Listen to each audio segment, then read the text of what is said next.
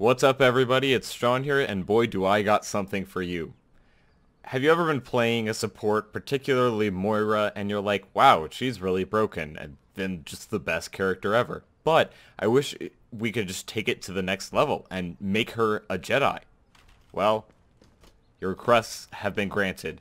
With this tutorial, I will show you how to use the new editor for Overwatch to add a Force Choke ability Hopefully he doesn't fall off the edge.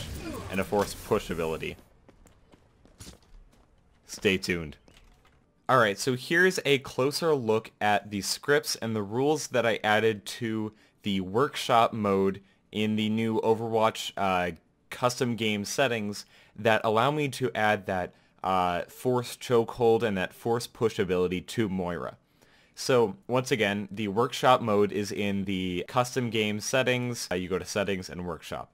Now I have these rules set up and I'm just going to go through the rules and explain what they do. So what this uh, will teach you is how to apply forces to other players in the game of Overwatch and how to add effects to players that you're damaging or players that you're looking at and things like that. And particularly adding like external forces to them. The first big thing is the force push. So this is an event that is on each player, but it only will affect players playing the character Moira. As you can see by this bottom um, condition right here. Hero of event player, meaning the person playing for each instance of all players. If it's equal to Moira, then we can do this ability. Some other conditions that we use is um, we have to make sure that we're not too far away from the player in order to have the effect. We don't want to be able to push them when they're already across the map.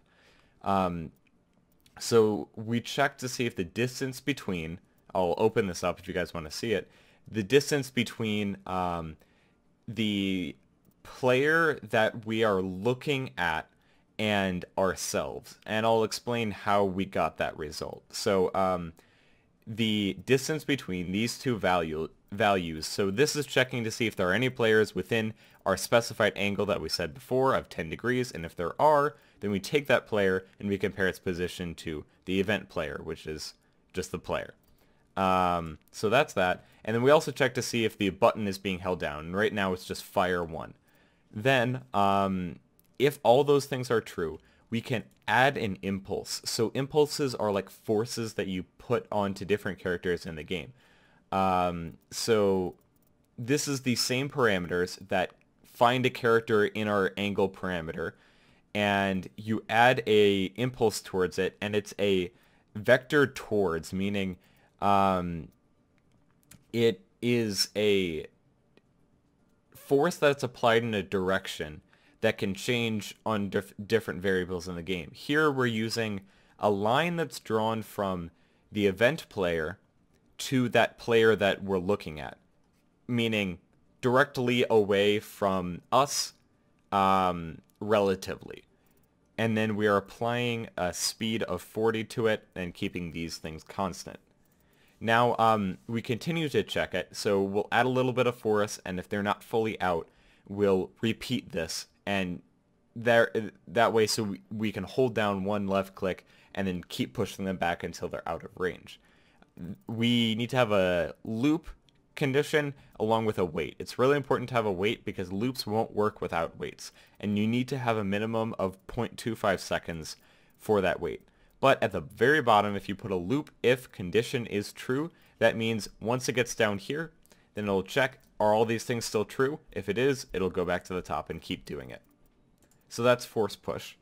Force choke is a bit more complicated, and it uses a different method. Rather than checking to see if the player is close to us, we can just check to see if we're damaging the player. And that's because Moira damages the player as she's using her right click anyway.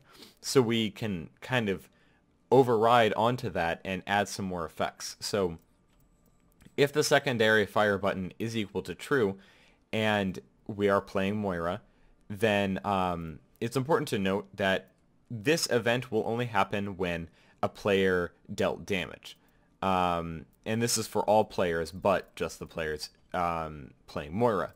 we can apply an impulse again, but this time it's not that relative direction thing.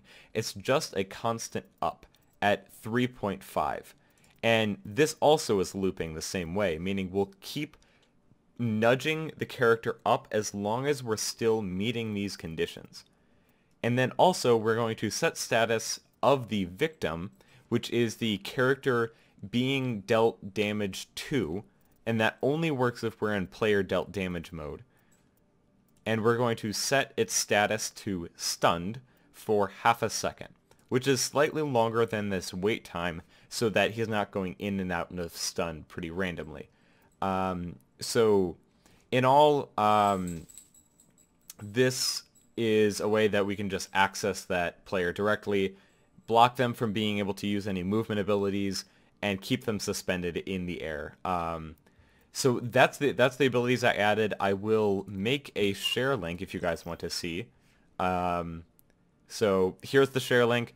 Uh, feel free to check out this code and show me what you can do with it. Post in the comments maybe a video or just something that you were able to do with this or any modifications you had. If you have any questions, also comment that and don't forget to like and subscribe because it really helps out and I will be making a bunch more videos on how to make better scripts um, with the Overwatch uh, workshop mode. So thanks and have a good day.